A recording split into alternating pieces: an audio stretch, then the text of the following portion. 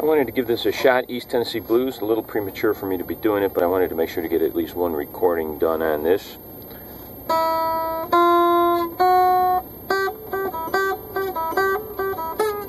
Thank you.